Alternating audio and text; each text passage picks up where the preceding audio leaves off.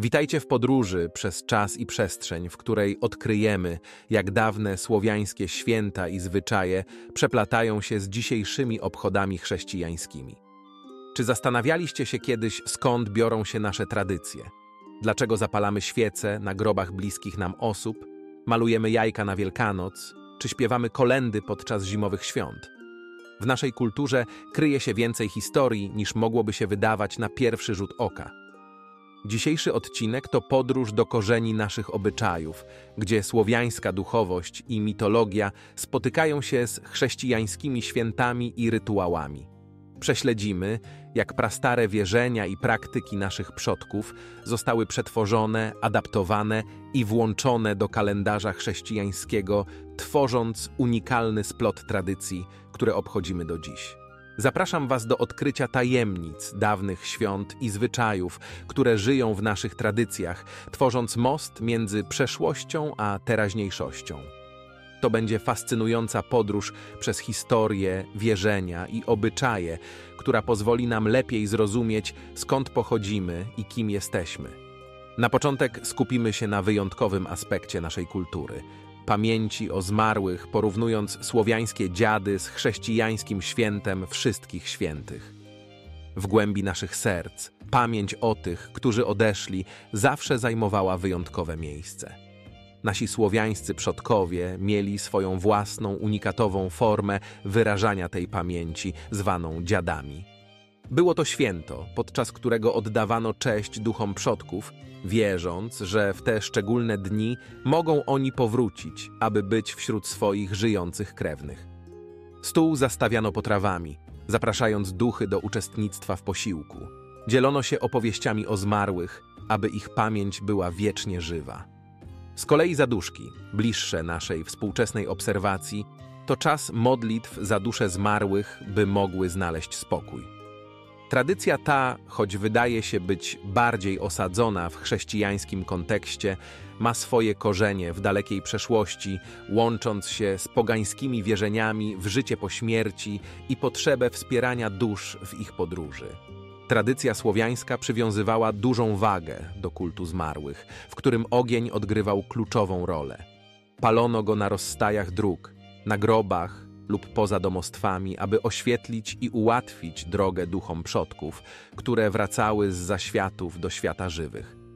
Ogień był także formą ofiary i symbolem magii, umożliwiającym komunikację z duszami, służył również jako ochrona przed złymi mocami i demonami, które mogły zagrażać ludziom lub duszom. Stąd dzisiejszy zwyczaj palenia zniczy na grobach. Wprowadzenie przez Kościół święta Wszystkich Świętych, obchodzonego 1 listopada, było sposobem na zaadaptowanie tych pradawnych zwyczajów w ramy chrześcijaństwa. Ten dzień, podobnie jak słowiańskie dziady, staje się okazją do wspominania wszystkich zmarłych, nie tylko tych kanonizowanych. Odwiedzamy groby bliskich, zapalamy świece, modlimy się. Wszystko to, by okazać naszą pamięć i szacunek. Co fascynujące, obie tradycje, mimo różnic w interpretacji i praktykach, dzielą wspólny cel uczczenie pamięci zmarłych i wyrażenie wiary w ciągłość po śmierci. W tych obchodach, zarówno słowiańskich, jak i chrześcijańskich, odnajdujemy uniwersalną potrzebę łączenia się z przeszłością, z pokoleniami, które odeszły, ale które nadal są obecne w naszej kulturze, tradycji i sercach. Dziady i zaduszki a także święto wszystkich świętych, przypominają nam, że choć nasze drogi życia są różne i choć świat się zmienia, pewne rzeczy pozostają niezmienne. Pamięć o tych, którzy byli przed nami, miłość, którą do nich czujemy i szacunek, który im okazujemy, łączą nas wszystkich, niezależnie od czasów i przekonań. Teraz przyjrzymy się bliżej słowiańskim wierzeniom związanym z gromnicą oraz chrześcijańskiemu świętu Matki Bożej Gromnicznej – odkrywając, jak dawne tradycje żyją w naszych współczesnych obchodach. Dzisiejsze święto Matki Bożej Gromnicznej ma swoje korzenie w dawnej tradycji Słowian, którzy obchodzili w tym dniu gromnicę, święto związane z zakończeniem zimy i oczekiwaniem na pierwsze wiosenne burze. Słowianie wierzyli, że gromy i błyskawice są zwiastunami życiodajnych deszczy, które przynosił im Bóg Perun. Dlatego zapalali w tym dniu ogniska i świece, aby zjednać sobie Jego łaskę i ochronę przed złymi mocami. Niektórzy łączą to święto również z postacią dziewanny, bogini wiosny, płodności i dzikiej przyrody. Wprowadzenie do kalendarza liturgicznego święta Matki Bożej Gromnicznej obchodzonego 2 lutego jest przykładem chrześcijańskiej adaptacji słowiańskich wierzeń. W tym dniu Kościół katolicki obchodzi ofiarowanie pańskie, czyli przyprowadzenie Jezusa do świątyni. Święto to łączy się z błogosławieństwem świec, symbolizujących Chrystusa jako światłość świata, które rozprasza mrok grzechu. Zarówno w słowiańskiej tradycji gromnicy, jak i w chrześcijańskim święcie Matki Bożej Gromnicznej ogień i światło stanowią centralne motywy. Są one wyrazem głębokiej ludzkiej tęsknoty za bezpieczeństwem, ochroną i nadzieją na lepsze jutro. Światło gromnicy, tak jak światło przynoszone przez Chrystusa, ma za zadanie rozjaśniać nasze życie, chronić przed złem i prowadzić przez trudności. W naszych dzisiejszych obchodach, gdy zapalamy świece w kościele czy w domu, niejako na nowo łączymy się z tymi prastarymi tradycjami. Zapalając świece, nie tylko oddajemy cześć Matce Bożej, czy prosimy o ochronę. Wykonujemy także symboliczny gest, który niesie ze sobą wieki wierzeń i nadziei naszych przodków. To piękne, jak te starożytne symbole światła i ognia nadal mają miejsce w naszym życiu, przypominając o sile tradycji i ciągłości, która przekracza granice czasu.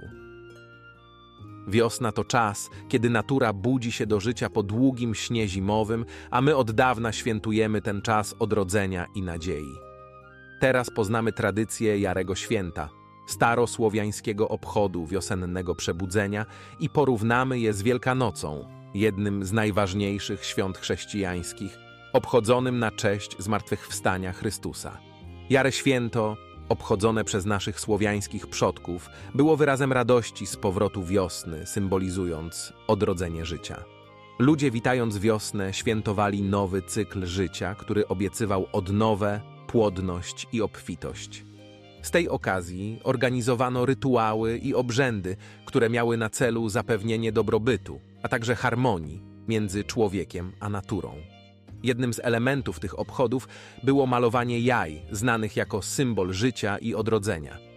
Z kolei Wielkanoc, najważniejsze święto chrześcijańskie, celebruje zmartwychwstanie Jezusa Chrystusa jako triumf życia nad śmiercią, światła nad ciemnością.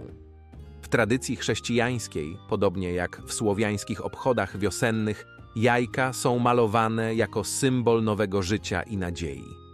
Pisanki, czyli barwione jajka, stały się nieodłącznym elementem Wielkanocy, łączącym w sobie zarówno chrześcijańskie, jak i przedchrześcijańskie znaczenie. Kolejnym starosłowiańskim zwyczajem jest znany nam dobrze śmigus dyngus, czyli lany poniedziałek. Ten unikalny obrzęd, który przetrwał do współczesnych czasów, również jest związany z nadejściem wiosny i odrodzeniem natury. Tradycja ta polega na polewaniu się wodą, co ma symbolizować oczyszczenie, płodność oraz życiodajną siłę wody. Dawniej wierzono, że ta zabawa przynosi zdrowie i urodzaj, a nawet może mieć magiczne właściwości zapewniające dobre żniwa i osobistą pomyślność. Z biegiem czasu śmigus dyngus stał się także okazją do zabawy i radosnego świętowania nadejścia wiosny, szczególnie popularnym wśród młodzieży. Jest to czas wzajemnych żartów i zabaw, gdzie tradycyjne polewanie wodą często przeplata się z nowoczesnymi formami świętowania. Choć pierwotne znaczenie tego zwyczaju mogło ulec zmianie, nadal jest on żywym przykładem kontynuacji starosłowiańskich tradycji, łączącym nas z naszymi przodkami i ich sposobem świętowania cyklu przyrody. Zwyczaj malowania jajek, wspólny dla obu tradycji, jest nie tylko formą artystycznej ekspresji, ale także głęboko zakorzenionym rytuałem, który łączy nas z cyklem życia, odrodzeniem i odnową. Przy każdym pociągnięciu pędzla, przy każdym barwnym wzorze, jesteśmy częścią długiej historii ludzkości, która świętuje życie, miłość i nadzieję. W sercu lata, gdy dni są najdłuższe, a noce najkrótsze, przyroda obchodzi jeden z najbardziej magicznych momentów w roku letnie przesilenie. To czas, gdy nasi przodkowie świętowali noc kupały, a dzisiaj obchodzimy noc świętojańską. Noc kupały to święto głęboko zakorzenione w słowiańskiej kulturze i mitologii, obchodzone w najkrótszą noc roku. Był to czas radości, miłości, płodności, a także magii i wróżb. Ludzie skakali przez ogniska, by oczyścić się z negatywnej energii i zapewnić sobie zdrowie na cały nadchodzący rok. Zakochane pary skakały razem, trzymając się za ręce, wierząc, że to wzmocni ich związek. Wianki z kwiatów puszczane na wodę miały przepowiedzieć przyszłość i miłosne losy młodych dziewcząt. Ta noc była pełna magii, w której natura i ludzie łączyli się w świętowaniu życia i miłości. Z kolei Noc Świętojańska i Dzień Świętego Jana, obchodzone przez chrześcijan, również nawiązują do tych samych motywów odrodzenia i radości. Święto to upamiętnia narodziny świętego Jana Chrzciciela, który zwiastował przyjście Chrystusa, światłości świata. W wielu miejscach, podobnie jak w przypadku Nocy Kupały, ludzie zapalają ogniska, skaczą przez nie i organizują procesje z pochodniami, symbolizując oczyszczenie i ochronę przed złem. Choć motywy i postaci są inne, intencje i rytuały mają podobne znaczenie. Co fascynujące, obie te tradycje, mimo różnych korzeni, słowiańskiego pogaństwa i chrześcijaństwa, podkreślają moc i znaczenie natury, cykli życiowych oraz potrzebę wspólnoty i celebracji. Obchodząc te święta, czcimy zarówno dawne bóstwa i siły przyrody, jak i postaci święte, przypominając sobie o ciągłości, która łączy nas z naturą i z naszymi przodkami. Noc Kupały i Noc Świętojańska to przykład, jak dawne wierzenia i obrzędy zostały zaadaptowane i przekształcone, ale nie zatraciły swojego pierwotnego znaczenia. Ogień, woda, kwiaty i skoki przez ognisko – Wszystkie te elementy łączą nas z przeszłością, z tradycją, która jest żywa i ciągle obecna w naszym kulturalnym krajobrazie.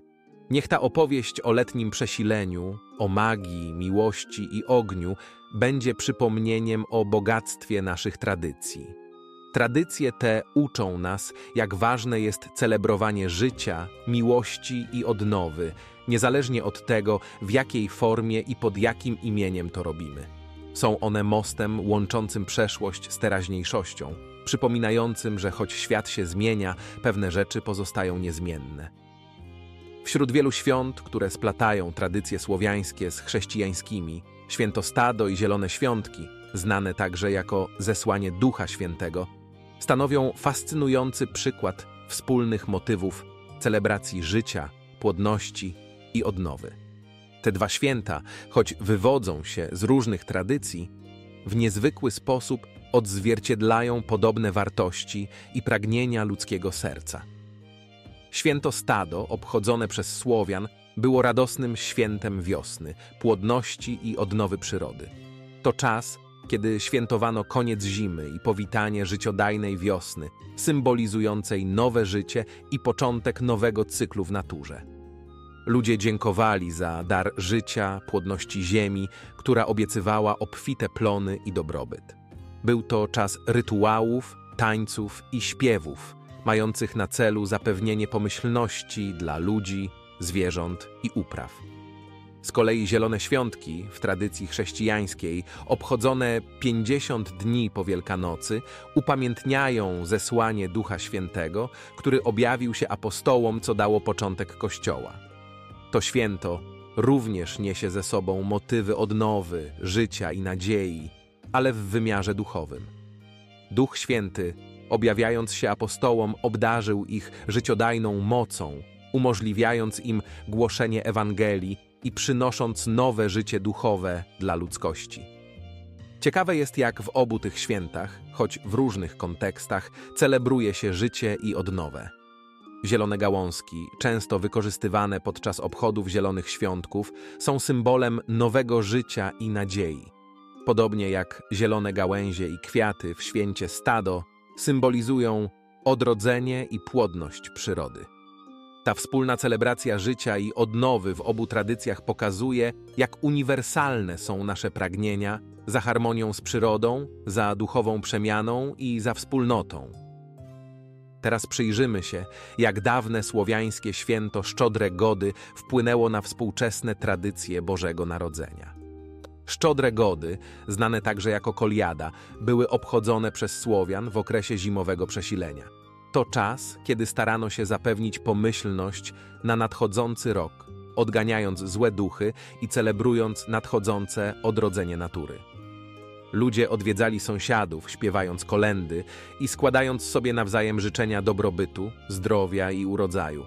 Było to święto obfitości, gościnności i dzielenia się tym, co najlepsze, z bliskimi i z tymi, którzy potrzebowali wsparcia. Tradycja dzielenia się opłatkiem na Boże Narodzenie ma swoje korzenie w tych dawnych praktykach. Opłatek stał się symbolem zgody, przebaczenia i miłości. W momencie łamania i dzielenia się opłatkiem przekazujemy sobie najszczersze życzenia, co jest pięknym odzwierciedleniem słowiańskiej gościnności i ducha wspólnoty. Tradycja dwunastu potraw serwowanych podczas wigilijnej wieczerzy również nawiązuje do dawnych wierzeń. Każda potrawa symbolizowała jeden z miesięcy nadchodzącego roku, zapewniając obfitość i szczęście w każdym z nich. Jest to echo słowiańskiego szacunku dla cykli natury i wiary w moc rytuałów, mających na celu zapewnienie dobrobytu domowi i jego mieszkańcom. Współczesne obchody Bożego Narodzenia, choć głęboko zakorzenione w chrześcijaństwie i celebrujące narodziny Jezusa, niosą w sobie te starożytne elementy słowiańskiej tradycji. Szczodre gody i Boże Narodzenie, choć różnią się znaczeniem i pochodzeniem, dzielą wspólny duch radości, odnowy i wspólnoty. W obu przypadkach jest to czas, kiedy ludzie zbliżają się do siebie, dzielą się tym, co mają najlepszego i razem celebrują nadzieję na lepszą przyszłość. Dożynki, święto plonów obchodzone zarówno w tradycjach słowiańskich, jak i w kulturze chrześcijańskiej, są wyrazem podziękowań za urodzaj oraz celebrują zakończenie żniw. W słowiańskiej tradycji dożynki były momentem radości i zakończenia żniw. To czas, kiedy wspólnota gromadziła się, by dziękować naturze i siłom wyższym za obfite plony. Obchody te obejmowały procesje z wieńcami zbożowymi, śpiewy i tańce, a także dzielenie się chlebem wypieczonym z nowych zbiorów. Było to święto, które łączyło ludzi z ziemią, z przodkami i z tradycjami przekazywanymi z pokolenia na pokolenie, przypominając o cyklach natury i zależności człowieka od jej darów. W chrześcijaństwie dożynki przybrały formę dziękczynną za plony i błogosławieństwa, które ludzie otrzymali od Boga w ciągu roku. W wielu kościołach organizowane są specjalne msze dożynkowe, podczas których wierni składają dary ziemi przed ołtarzem, symbolizując swoją wdzięczność i uznanie dla Bożej obfitości. To święto, podobnie jak jego słowiański odpowiednik, podkreśla wagę pracy, rodziny i wspólnoty w procesie uprawy ziemi i zbierania plonów. Obie tradycje, mimo różnych korzeni, podkreślają uniwersalną ludzką potrzebę wyrażania wdzięczności za dary natury. Dożynki są przypomnieniem o naszej symbiozie z Ziemią i o tym, jak bardzo jesteśmy zależni od jej cykli i obfitości. To czas, kiedy zatrzymujemy się aby docenić trud i pracę, jaką włożyliśmy w uprawę ziemi, ale również, aby świętować i dzielić się jej darowizną z innymi. W obliczu straty i żalu, kultury na całym świecie znajdują sposoby, by szanować pamięć o zmarłych, dzieląc się wspomnieniami i wspierając się nawzajem. Dwa takie przykłady Słowiańska tryzna i chrześcijańska stypa, choć różnią się zwyczajami i kontekstem kulturowym, obie tradycje odzwierciedlają głębokie ludzkie pragnienie uhonorowania tych, którzy odeszli i wyrażenia współczucia względem rodzin żałobnych. Tryzna, starosłowiańska tradycja żałobna, była formą pożegnania zmarłych która łączyła elementy wspomnienia, celebracji życia zmarłego oraz rytualnego posiłku. To spotkanie, często przy ognisku lub w domu zmarłego, służyło nie tylko jako wyraz smutku, ale także jako okazja do wspólnego dzielenia się opowieściami i wspomnieniami, które podkreślały życiowe dokonania i charakter zmarłego. Tryzna pomagała społeczności przejść przez żałobę, utrwalając wspomnienie o zmarłym w pamięci wspólnoty. Co istotne, tryzna wyróżniała się nie tylko żałobnym charakterem, ale także była okazją do radosnego uczczenia życia zmarłego. W odróżnieniu od powszechnej percepcji pożegnań jako wyłącznie smutnych i skupionych na żałobie, tryzna często obejmowała elementy celebracji i wdzięczności za wspólnie spędzony czas. Uczestnicy obrzędu dzielili się nie tylko opowieściami o życiu zmarłego, które podkreślały jego dokonania i charakter, ale również angażowali się w tańce, śpiewy i uczty. Te radosne aspekty tryzny podkreślały przekonanie o kontynuacji życia po śmierci w innym wymiarze oraz wyrażały radość z powodu zjednoczenia zmarłego z przodkami.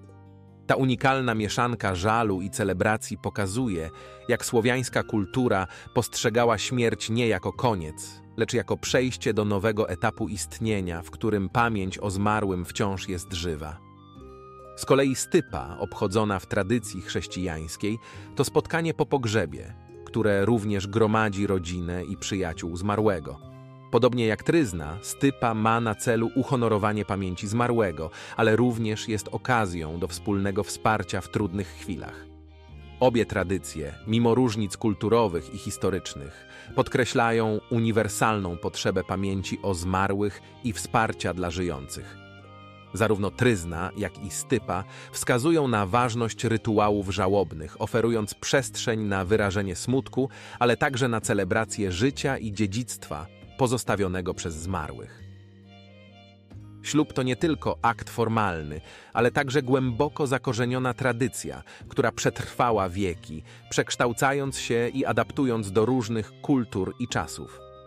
Zwyczaje ślubne, takie jak witanie chlebem i solą czy oczepiny, mają swoje korzenie głęboko w historii, sięgając czasów przedchrześcijańskich.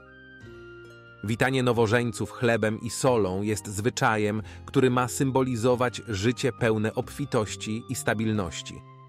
Chleb, jako podstawowy pokarm, symbolizuje obfitość i dostatek, podczas gdy sól ze względu na swoje niezwykłe właściwości konserwujące, symbolizuje trwałość i niezmienną więź.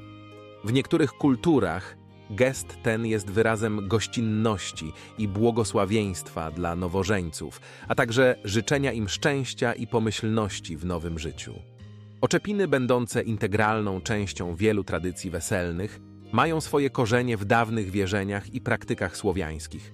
Niegdyś ten zwyczaj obejmował nie tylko symboliczne zdjęcie welonu, ale przede wszystkim nakładanie czepca na głowę panny młodej, co oznaczało jej przejście ze stanu panieńskiego do stanu zamężnego. Czynność ta miała głębokie znaczenie symboliczne, oznaczając oficjalne przyjęcie do grona zamężnych kobiet oraz zmianę statusu społecznego. W dawnych czasach Rytuał ten był również postrzegany jako obrona przed złymi duchami oraz jako rytualne zapewnienie płodności i pomyślności w małżeństwie. Dodatkowo, oczepiny były momentem świętowania i dzielenia się radością z bliskimi oraz społecznością. Rytuał ten, otoczony pieśniami i tradycyjnymi obrzędami, takimi jak ściąganie wianka i zastępowanie go czepcem, stanowił ważny element weselnych ceremonii podkreślając zmianę, jaką przechodziła panna młoda, stając się żoną. Te przedchrześcijańskie zwyczaje ślubne przetrwały do dzisiaj, choć czasem zostały przekształcone i zinterpretowane na nowo w kontekście współczesnych obyczajów. Jednakże ich obecność w obchodach ślubnych nadal przypomina o głębokich korzeniach ludzkich tradycji i duchowych praktyk, które przekazywane są z pokolenia na pokolenie. Witanie chlebem i solą oraz oczepiny, choć mogą wydawać się tylko symbolicznymi gestami, są kontynuacją starożytnych praktyk, które przypominają nam o naszych korzeniach i duchowych wartościach, które nadal odgrywają istotną rolę w życiu społecznym.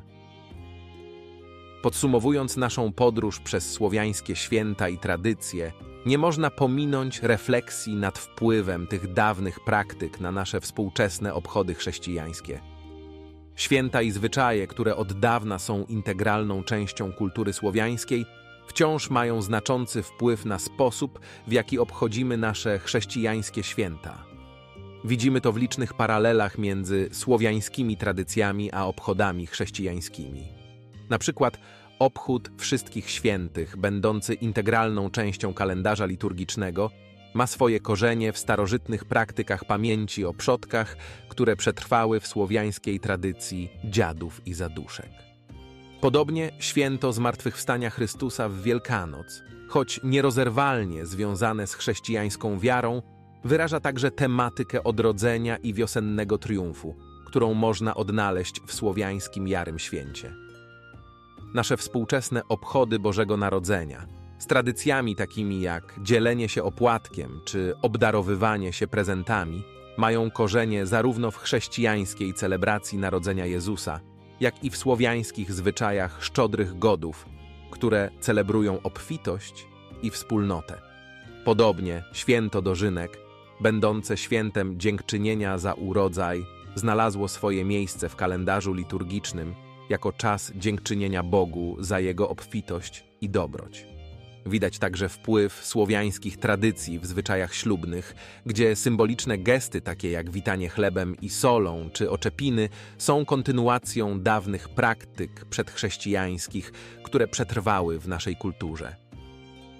Nasza podróż przez te starożytne obyczaje i praktyki przypomniała nam o bogactwie naszego dziedzictwa kulturowego i o głębokim związku między naszą przeszłością a naszą teraźniejszością. Chociaż czasy się zmieniają, a tradycje ewoluują, towarzyszy nam ciągła pamięć o naszych korzeniach i wartościach, które nadal kształtują nasz sposób bycia i obchodzenia się z innymi. Niezależnie od tego, czy jesteśmy wierzący, czy nie, czy pochodzimy z kultury słowiańskiej, czy z innej, nasze tradycje i zwyczaje odzwierciedlają wspólne pragnienie pamięci, wspólnoty i celebracji życia. Niech ta podróż przez słowiańskie święta i tradycje będzie przypomnieniem o naszym dziedzictwie i o sile więzi, które nas łączą jako ludzi. Mam nadzieję, że ten film otworzył przed Wami nowe perspektywy i wzbogacił Waszą wiedzę o słowiańskich tradycjach. Wasze przemyślenia i sugestie są dla mnie niezwykle cenne, więc serdecznie zachęcam do dzielenia się nimi w sekcji komentarzy. Czy jest jakiś konkretny mit, legenda czy postać, o której chcielibyście usłyszeć więcej w kolejnych odcinkach? Wasze zainteresowania mogą zainspirować tematy przyszłych filmów, więc nie wahajcie się dzielić pomysłami. Jeżeli podoba Wam się to, co tworzę i chcielibyście wspierać moją działalność, zapraszam na mój profil Patronite. Wasze wsparcie jest dla mnie nieocenione i pozwala mi na tworzenie jeszcze więcej fascynujących treści. Link do Patronite znajdziecie w opisie poniżej. Dziękuję z całego serca za poświęcony czas. Jeśli jesteście ciekawi dalszych tajemnic i opowieści z zakresu mitologii i kultury, proszę o zostawienie łapki w górę, subskrypcję kanału oraz włączenie powiadomień dzwoneczkiem. Dzięki temu nie ominie Was żaden z nowych filmów. Do zobaczenia.